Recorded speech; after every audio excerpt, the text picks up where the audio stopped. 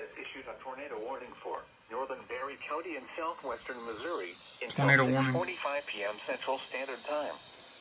At 6:21 p.m. Central Standard Time, a severe thunderstorm capable of producing a tornado was located over Wheaton, Oregon, 13 miles northwest of Cassville, moving northeast at 55 miles per hour.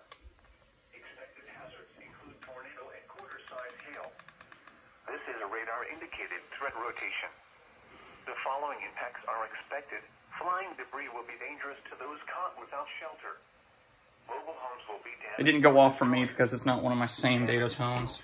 Windows and vehicles will occur. Tree damage is likely.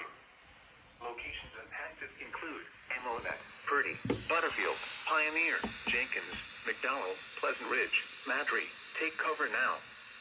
Move to a basement or an interior room on the lowest floor of a sturdy building. Avoid windows. If you are outdoors, in a mobile home, or in a vehicle, move to the closest substantial shelter and protect yourself from flying debris.